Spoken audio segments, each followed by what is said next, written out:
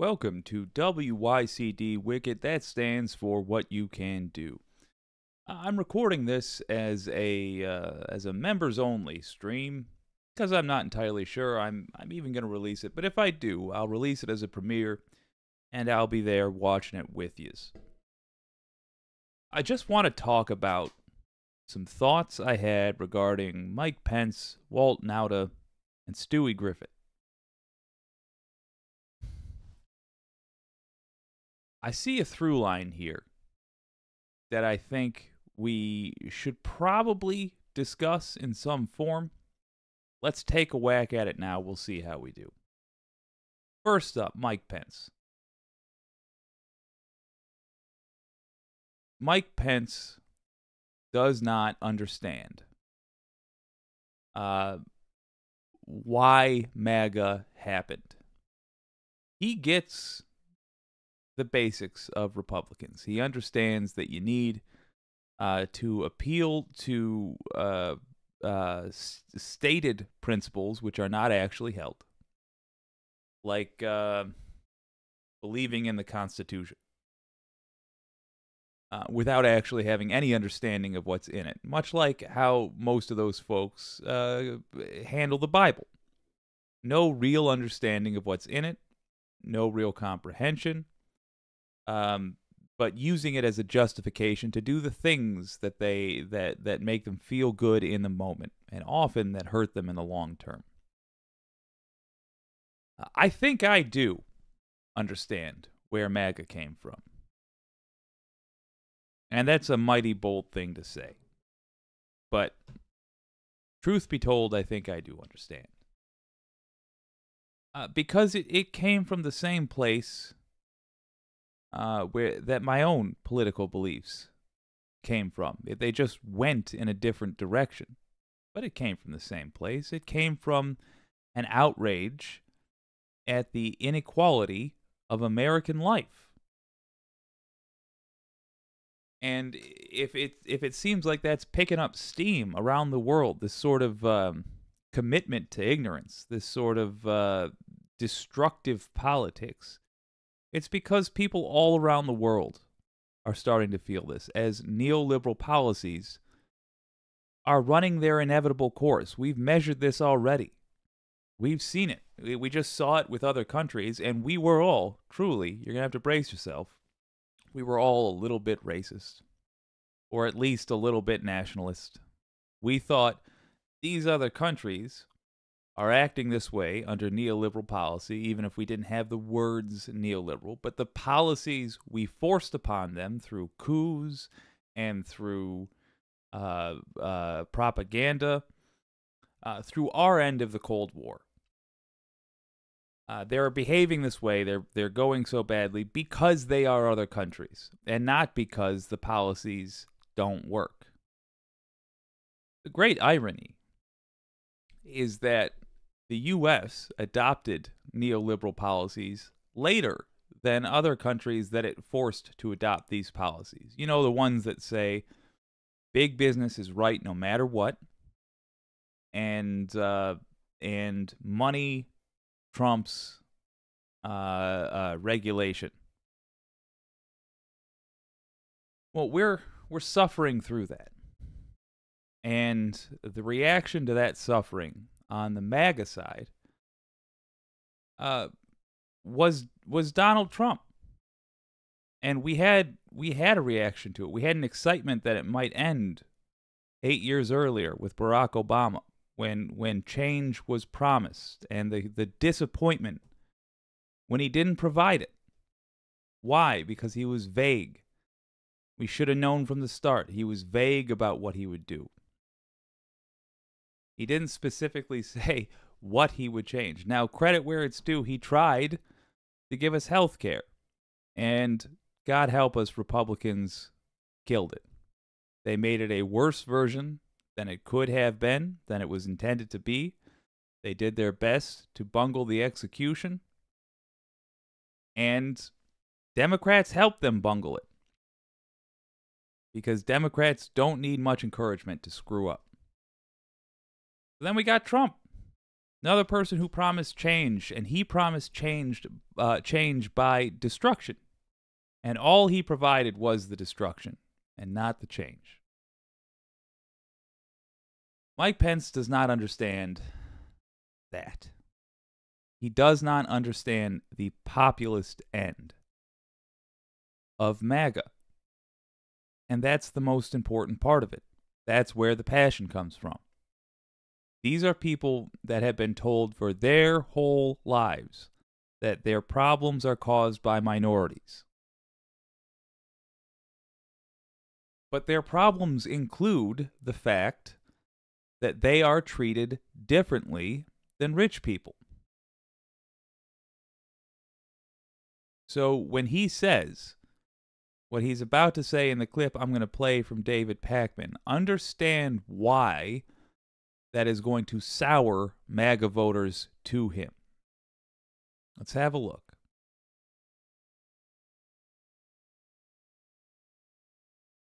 Says he is, quote, inclined to pardon many members of the mob who attacked the Capitol on January 6th. Those people were, of course, part of the same mob who built gallows and chanted about wanting to hang you.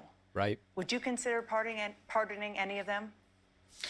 You know, on the day of January 6th, I uh, issued a tweet demanding that people leave the Capitol Folks, he tweeted. and end the violence. And I said that those that failed to do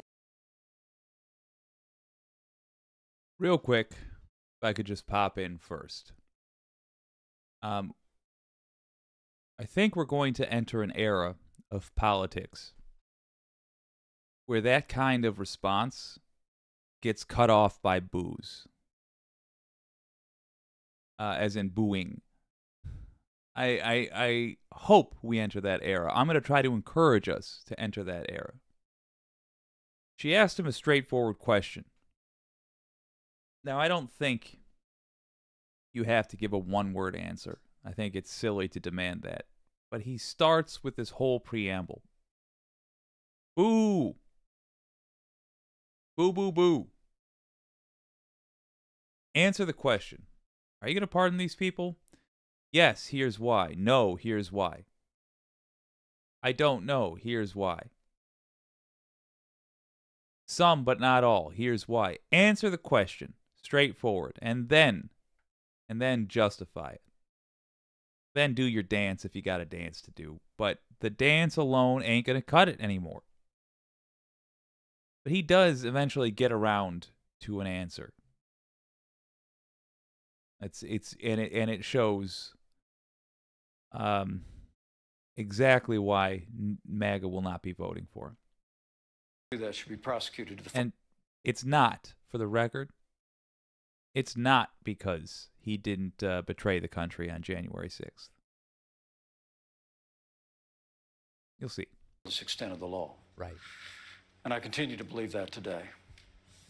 We cannot ever allow what happened on January 6th to happen again in the heart of our democracy. What about the and I'll stand by the decisions and the due process of court in our laws.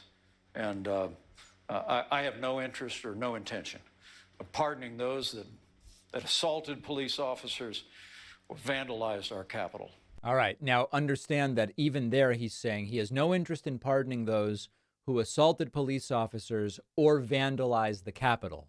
But if there are people who were charged for other things, he doesn't seem to be ruling that out. Although with Pence, you never really know what he means with his slippery language. And then lastly, Pence refusing to rule out pardoning Donald Trump if he were to be elected president. Sir, if Donald Trump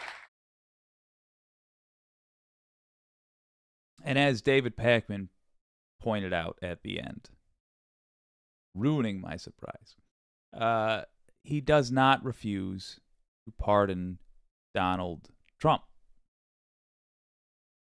I'll tell you, and this might shock you, I think he would have won over more MAGA voters if he would have said, law and order, what I believe in.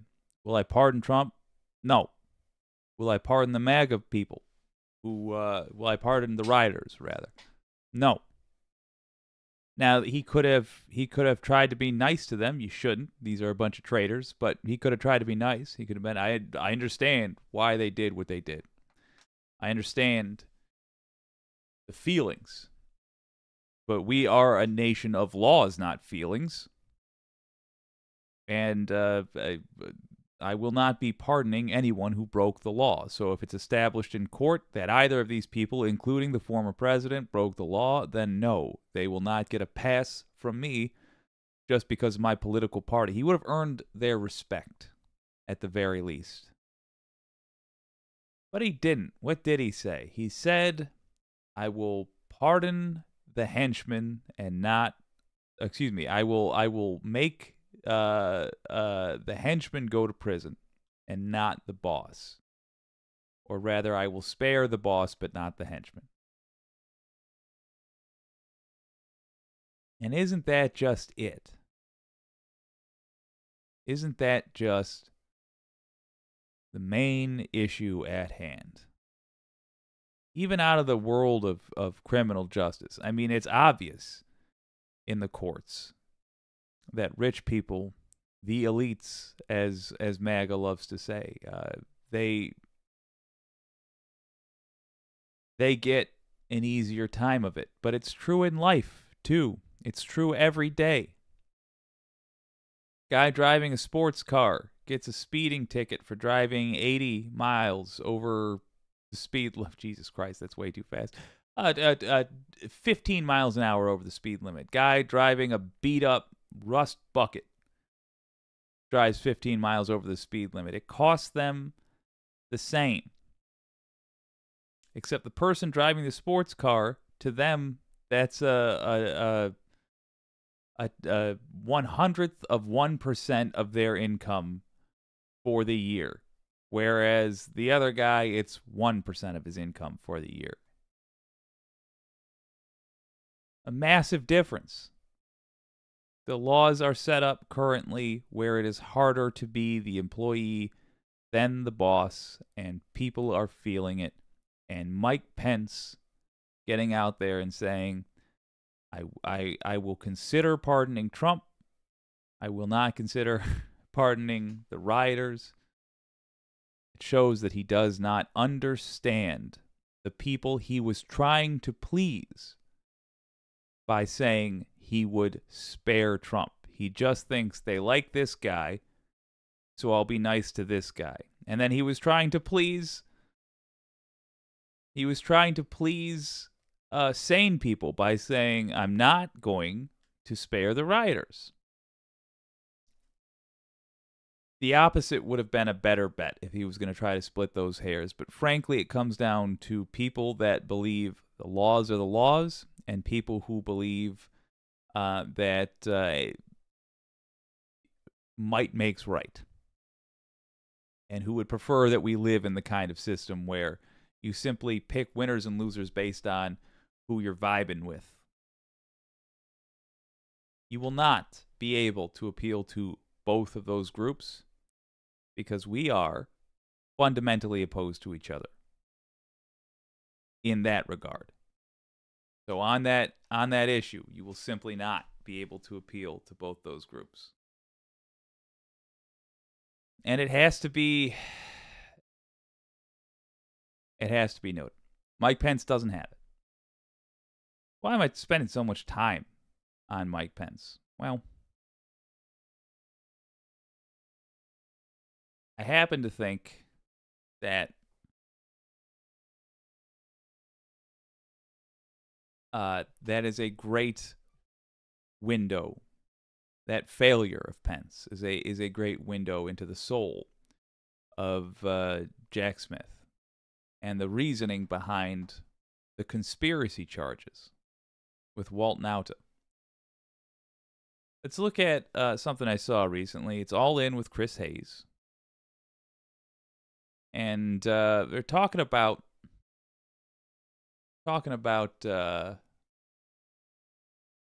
why a conspiracy charge and, and, and what Jack Smith might have been thinking, what, what the strategy behind it might have been.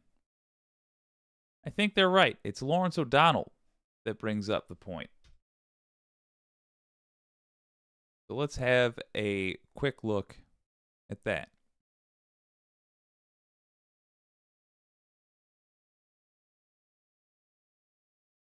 Ooh, mercy. There we go.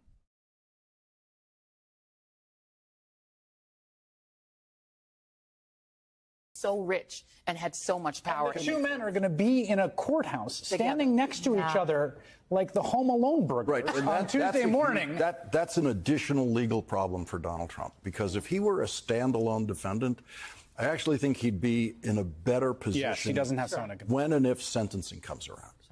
Sure. Because this guy, people have gone to prison for what this guy has yeah. done. Oh yeah. And and the idea that like, well, there is no principle that says, oh, no, no, you can't convict a Navy veteran of a, of a crime. You know, all of this yes, kind of right. mythology that surrounds the notion of convicting Correct. a former yeah. president. So I actually think them having a co defendant in there who is, by all previous, you know, legal precedent, completely vulnerable to serious criminal sentencing here is actually very helpful. Rachel.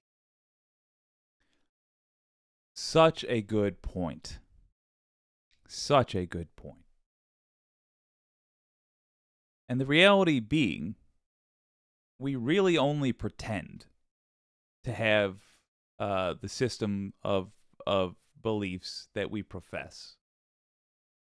Like, for example, no one is above the law, and yet we're sitting here hemming and hawing over how we're going to make the laws apply to a former president. Ooh, but that's a real fancy guy. Ah, oh, but he's rich. Ah, oh, but a lot of folks like him. I don't know if we can make the laws apply to him. But as Lawrence O'Donnell points out, Jack Smith, being not a dummy, has gotten around that in a in a uh, brilliant way. First of all, he's not accusing Walt Nauta, or at least according to the indictment, he's not attempting to accuse Walt Nauta of anything he was not knee deep in but he is charging him alongside Trump, as if to say, this guy did this thing, we got him dead to rights. And you decide how much he broke the law, whether he broke the law and by how much, and if you're going to punish him. And oh, by the way, this guy told him to do it. Now, if you're going to punish that guy, who obviously broke the law, who we got pictures of, who we got text messages from, who we have written statements from, who lied to the face of the FBI. You're going to punish him. Surely, surely, you are going to punish the person that told him to do the crime, who, who was the primary beneficiary of the crime.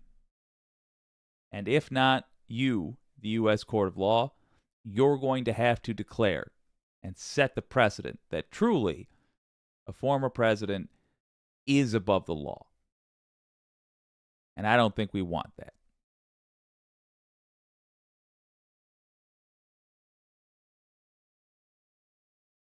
And ain't it the truth? It's a clever move by Jack Smith. And even if MAGA hates him right now, and even if the stochastic terrorism Fox is engaged in currently works, and they get some lone wolf terrorists out there to uh, kill people and themselves in their zeal to prevent uh, Trump from being harmed by the consequences of his own actions, to spare Trump the justice system, the ass whipping he's been asking for. Even if that happens, I think by the end of this case,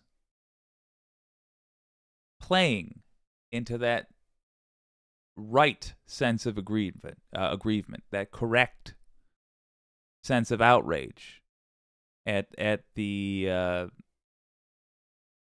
at the ridiculous double standards where normal people must always suffer. And they must suffer more to spare rich people from any suffering ever.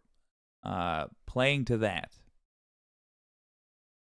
is going to make it so that MAGA voters have a better chance of understanding that Trump broke the law and he ought to be punished.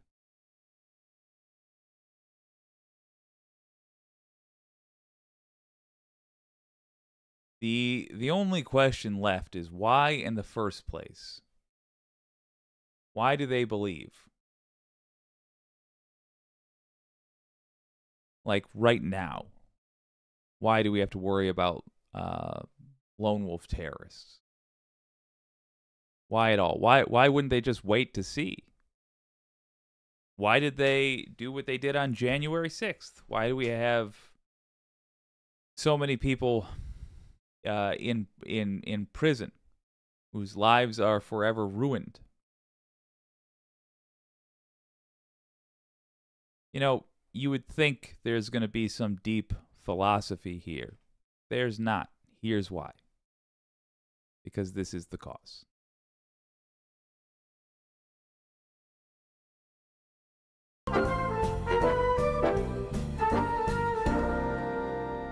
Hey, Stewie, what are you watching? The most glorious website of all time, YouTube. I only hope the site doesn't run out of content for me to watch. You know, you should really be careful on YouTube, Stewie. You never know what's going to pop up next. I mean, there's some wild stuff out there. Okay, boomer. I'm not a boomer, I'm Gen X. Brian, you save back issues of Oh, Costco magazine. Uh, it's called The Costco Connection, and it's how I get good deals on cruises. Yeah, you're not helping yourself here. Let's see. Suggested videos for you. Joe Rogan interviews Boss Baby. Goodnight Moon. Fact or hoax? Whoa, listen to this one, Rupert. The truth about naps. I hate naps, and I love the truth.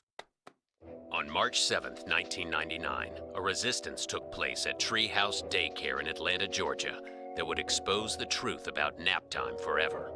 Harold Harry Brockmeyer, age three, refused to nap.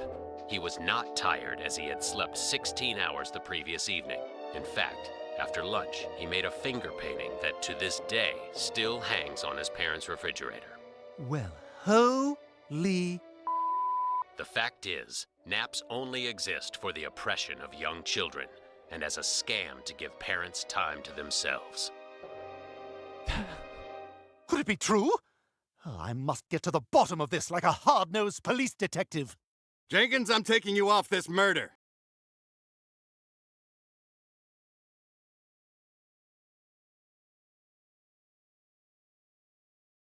Yeah, it's a comedy bit, but it's not wrong. All the elements are right there. Somebody making a big damn deal about something that is not true, but they know a demographic wants to hear.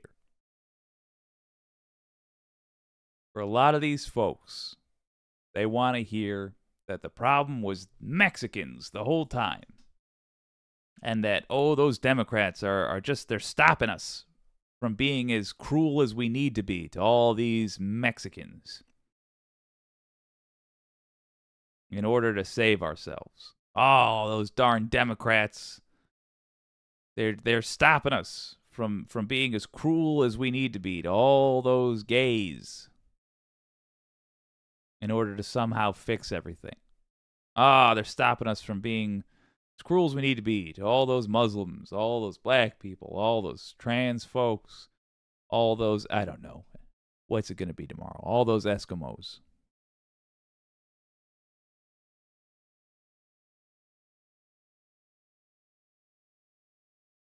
This right here is an attempt to fix that. Hopefully, it'll help. Uh, There's other bigger, frankly, uh, uh, purposes for this channel, but you know, there's one goal: is to try to debunk some of this stuff. But also, uh, the collective effort to reach out to these folks, which is going to be done, I don't want to lie to you, mostly by you and folks like you. It's going to be done on a person to person basis. It's going to be one at a time. Mostly that's what's going to fix it. You're going to have to go to the Stewies in your life and tell them baby truth or whatever lied to you. And you're going to have to show them how. And you're going to have to be more mature and kind than they will have deserved with their behavior. You're going to have a big advantage in that Donald Trump is about to be in court. Nothing uh, but a bullet he fires will prevent him from from going there. Uh, he's about to be in court. The, the truth is going to be coming out. And by the way, we have not forgotten about January 6th. We should continue to insist that that is litigated in court. It would not surprise me if Merrick Garland uh, sees this conviction on the documents case and then tries to dodge his responsibility for January 6th and finding justice there. That is not acceptable. Anyone who tries to tell you, well, it's hard to build a case, stop. I don't care. We are the United States of America. We walked on the mothering moon. We are going to prove in a court of law that Donald Trump tried his damnedest to overthrow the government. And when all these things happen, we're going to have to go to the Stewie Griffins in our lives, show them the facts, and we're going to have to go a step farther. We're going to have to provide them the answer they've been looking for. Who has actually been making their lives hard? If all these folks have been lying to them, that it was the Democrats, that it was the Mexicans, that it was the Eskimos. If all these folks have been lying to them, well, who has been making their lives hard? Because I notice they always say, you guys pretend like white people have it easy, but we don't. Right? The fact is, we don't pretend like white people have it easy. White people definitely have it easier. But we don't pretend like white people have it easy. But we are going to have to acknowledge that they're hurting. Again, even if they haven't earned kindness, kindness is a necessary part of the formula for fixing this. We're going to have to acknowledge that they're hurting and show them who has actually been doing the hurting. Easy way to show them show them that chart we play on this channel so frequently. I'll do it next week, uh, just to just to keep it fresh in your minds. Shows the U.S. productivity versus U.S. average income. Productivity skyrockets, income does not rise accordingly. Show uh, that the billionaires profited during the pandemic when we were all suffering show that U.S. has uh, the worst health care of all nations measured when we measured the top 11 most uh, financially successful whatever nations. Our quality of life has been uh, sold by our representatives to billionaires who exchanged it for money. Show them who really hurt them. Understand that they are acting out of uh, pain and fear and outrage, and direct their outrage. This has been WYCD Wicked. That stands for What You Can Do. My name's Jake.